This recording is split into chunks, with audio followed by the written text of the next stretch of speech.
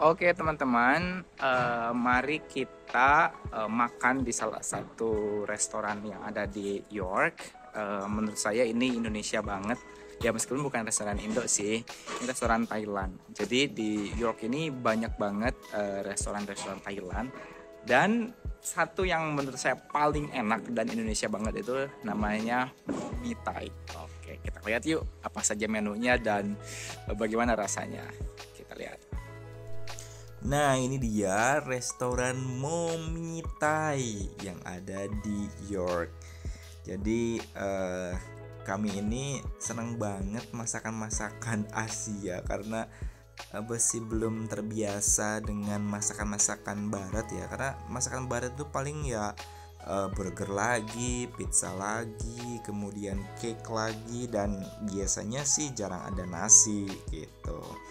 Yuk kita masuk ke restoran Momitai dulu 2016 belum ada pas uh, saya lagi S2 nah sekarang udah buka nih di sini. Nah ini dalamnya sedikit banget tempatnya teman-teman. Jadi kalau misalnya masuk itu uh, suka waiting list kayak gitu. Dan nggak tahu kenapa di sini tuh uh, restorannya itu bukanya itu jam 12.30 gitu. Jadi kalau pagi-pagi itu ya nggak buka tuh kita udah lihat di dalamnya udah dibuat dibentuk suasana uh, Thailand banget kayak gitu. Dan yang belinya tuh uh, banyak orang Asia tapi banyak juga sih orang-orang yang dari sini juga kayak gitu. Ini Spiderman udah siap seneng banget tuh. Uh, lalu di sini tuh teman-teman kalau misalnya kita punya alergi uh, atau misalnya teman-teman nggak makan daging uh, babi gitu tinggal bilang aja kayak gitu kan uh, vegetarian kayak gitu. Jadi tanpa daging kayak gitu. Jadi supaya aman. Karena kadang kadang-kadang ya mereka juga suka nanya kayak gitu pernak-pernik khas Thailand sebenarnya banyak sih di York ini ada beberapa restoran-restoran Thailand cuman yang udah beberapa yang udah pernah nyobain yang lidahnya yang cocok di lidah kami itu ya momitai kayak gitu. Momitai ini ada di mana-mana sih bukan cuma di York ya. Kalau dulu kalau pengen momitai itu pasti harus ke Leeds gitu. Nah, sekarang udah ada di York gitu. Nah, ini sudah uh, dan tipikalnya kalau restoran-restoran Thai itu ya kayak gini, kayak gitu. Pasti ada patung kayak gitu ya pasti ada patung yang melambangkan yaitu adalah uh, Thailand atau misalnya dari Asia.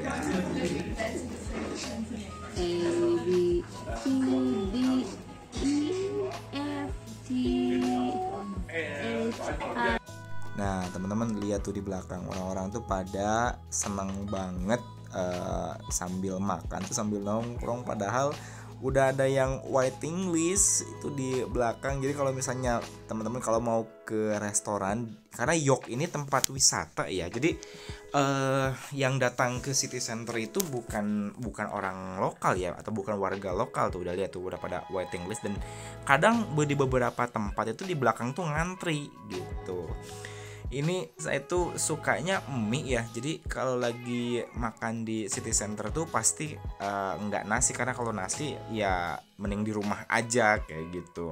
Jadi uh, pad thai ya. Uh, favorit kami itu pad thai nah itu yang yang belah sana tuh.